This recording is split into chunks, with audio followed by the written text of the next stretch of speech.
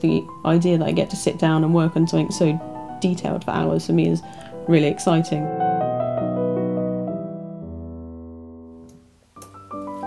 Usually start a piece by getting some reference photos together, doing a few quick lively sketches before then trying to put them all together into one drawing that will work as embroidery as well as an illustration piece.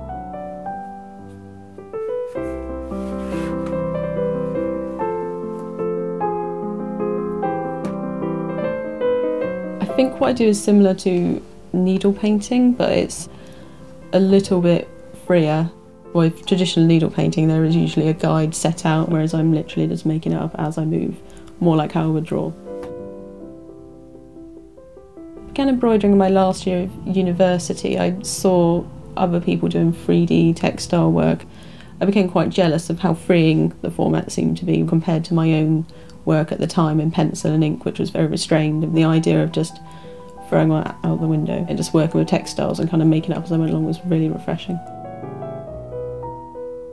I get a lot more satisfaction out of it, even though I have wound up almost doing the same thing that I used to do in pencil and just embroidering it instead. My inspirations tend to be ones from back when I used to paint and I used to draw. It's more traditional artists. I wanted to translate the way they've done movement and structure and everything into embroidery rather than looking at embroidery artists and wanting to copy embroideries.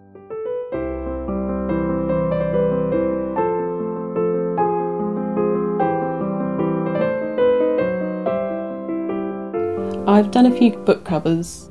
I did one for the BFI back when I originally graduated, and since then I've done a couple for Penguin and Viking.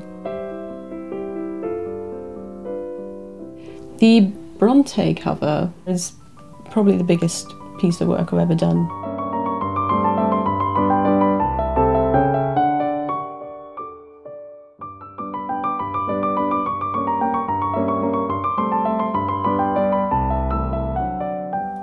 My pieces can take anything from a few days, very small pieces, to a couple of months if I'm working on a very detailed larger piece. My work has a very obvious beginning and end. I can't change anything once I've sewn a large section, I can only go back a stitch or two. Literally we start at the nose and just move through in a block. I love that when it's finished you've got a sort of physical item. There's something about that interaction with it that I really love. It's wonderful doing that last stitch. Knowing it's done is really satisfying. I've got it to the end and I've got it how I wanted it.